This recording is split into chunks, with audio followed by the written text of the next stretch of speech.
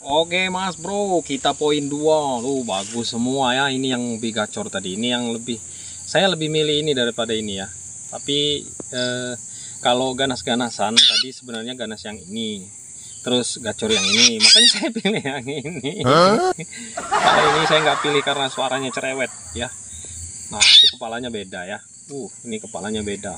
Ini masih uh, agak muda, ini udah agak tua ya. Kalau kakinya hampir sama ya yang ini ekornya beda ya. Ekornya beda. Yang ini dia nggak ngembang. Kalau yang ini ngembang banget. Nah yang ngembang seperti ini saya kurang seneng konon katanya.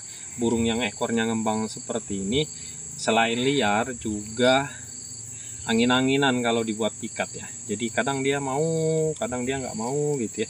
Jadi kalau yang seperti ini mau di lokasi mana aja dia mau. Dan salah satu eh, yang saya nggak suka tuh burung yang seperti ini nih ya cerewet. Kalau dipegang jerit-jerit itu tandanya burung sangat liar banget. Jadi kalau kita pelihara nanti biasanya apa ya e, lama jinanya ya mas bro ya.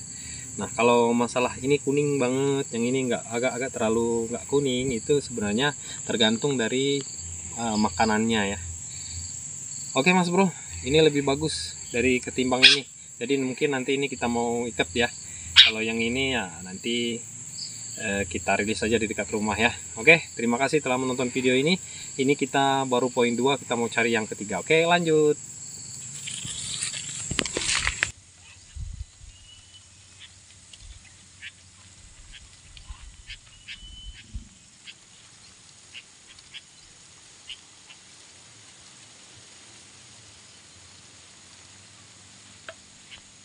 Nih, numpang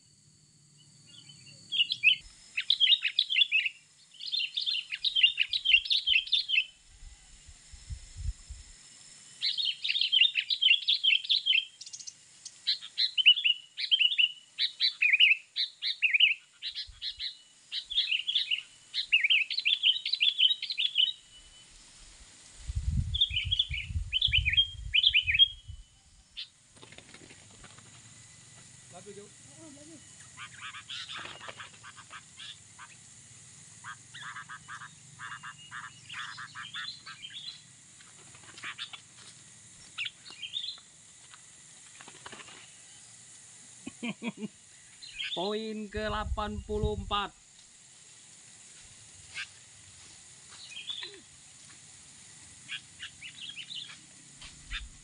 Mana apa yang anu tadi? Masih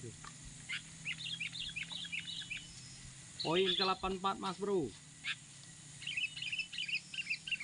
Poin kotilang kacor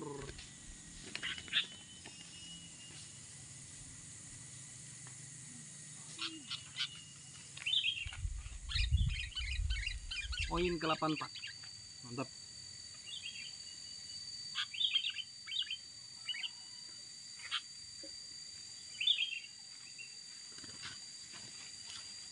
Tangan mah Tapi cerita dia ni.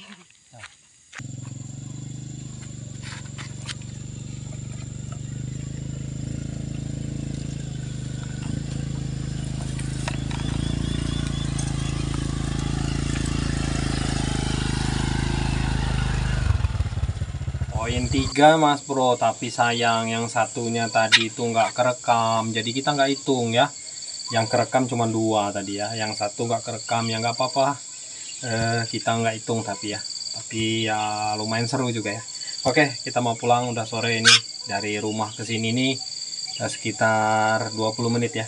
Oke kita mau lanjut. Terima kasih telah menonton video ini. Wassalamualaikum warahmatullahi wabarakatuh